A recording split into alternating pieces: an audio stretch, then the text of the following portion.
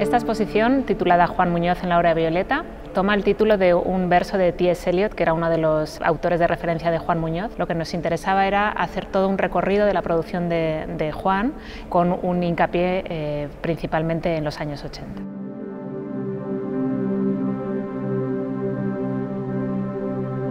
Desde el legado de Juan Muñoz es para nosotros un placer colaborar en esta exposición con el Centro de Arte 2 de Mayo porque creemos muy importante este ejercicio de enseñar eh, los comienzos de la carrera de un artista que es eh, sorprendentemente redonda intelectualmente eh, para lo trágicamente corta que fue.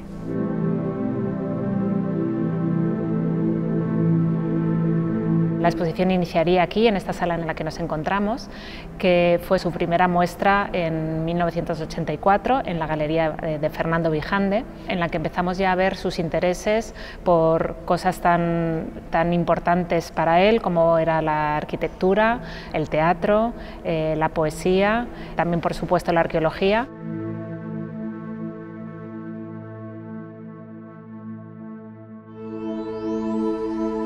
Vemos también el interés de Juan Muñoz por todas las arquitecturas de vigilancia. Le interesaban las torres de vigilancia, las atalayas, los balcones, esos espacios que normalmente están destinados para estar en el espacio exterior y lo que hace Juan Muñoz es introducirlos al espacio museográfico, generando una relación eh, bastante eh, particular con el espectador, no solamente por, por la escala que estos elementos adquieren dentro del espacio, sino también por qué supone estar dentro de un espacio museográfico mirando a estos elementos de vigilancia y no al revés.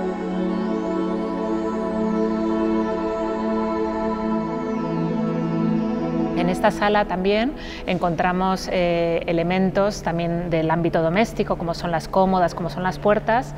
que eh, él mismo eh, transgrede y, modifica con, con otro elemento que era para él muy importante, que era la arqueología. Tenemos una serie mítica que son los Raincoat Drawings, que son unos interiores en los que nos muestran unos espacios bastante enigmáticos. Están realizados en, blanco y negro, eh, con una iluminación muy tétrica, como muy barroca. Juan lo que hace es eh, plantearnos un escenario en el que el espectador no sabe muy bien si se enfrenta a una escena que, en la que ya ha sucedido un, suceso y ha llegado este espectador tarde, o por el contrario, eh, el espectador tiene que estar mirando todavía un poco más porque va a haber algo que va a acontecer en ese espacio que, nos va a hacer eh, presenciar algo único.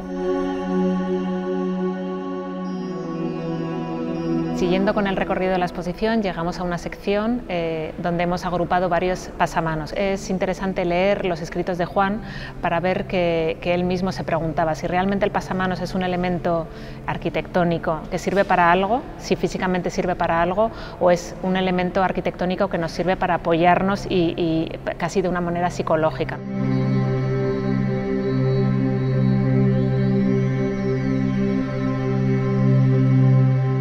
Siguiendo nos encontraríamos con la instalación Wasteland, en la que el visitante podrá caminar por el suelo óptico y experimentar esta sensación de vacío que generan estos suelos tan particulares de la obra de Juan Muñoz para acercarse a la figura de un ventrílocuo, que es este elemento que también es muy iconográfico y muy icónico de la obra de Juan y que estamos eh, también generando una relación particular con esta figura, sin saber muy bien si nos va a decir algo, si nosotros somos los que les tenemos que comunicar y generando un espacio de intimidad con, con esta figura. Seguiríamos por una sala en la que aparecen las figuras de los autómatas. Todo eh, parece que está pensado para que estas figuras en algún momento empiezan a activarse y empiezan a, tener vida, pero eh, si pasamos un rato en la sala veremos que no, que no es así, que nuestras expectativas se van a ver frustradas porque estas esculturas nunca se van a mover.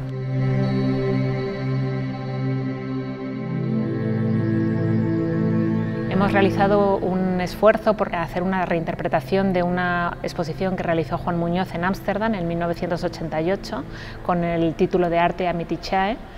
que, en la que el espectador una vez más podrá caminar sobre un suelo eh, bastante inquietante mientras estará siendo observado por dos ménsulas que son cabezudos. Juan lo que hace es eh, deslocalizarlos de, sus cuerpos y ponerlos como ménsulas, como gárgolas que nos están vigilando.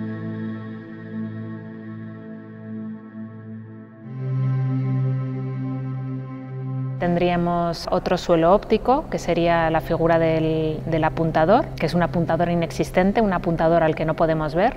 y que está mirando a un tambor. El tambor es eh, por antonomasia el, el instrumento más ruidoso que existe dentro del mundo de los instrumentos, pero en este caso es un tambor que no tiene baquetas, es un tambor que está silenciado. A Juan le interesaba toda esta negación del sonido, también por, por omisión. ¿no? Son instrumentos a los que, a los que le, les priva de su capacidad de sonar.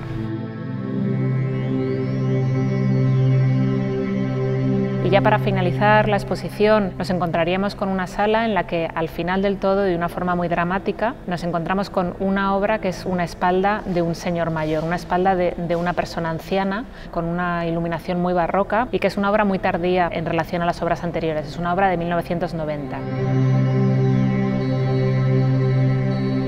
En esta sala también encontraremos una obra que se llama An Entrance, una entrada. Es un gesto muy simple, son dos pasamanos, una vez más la figura del pasamanos,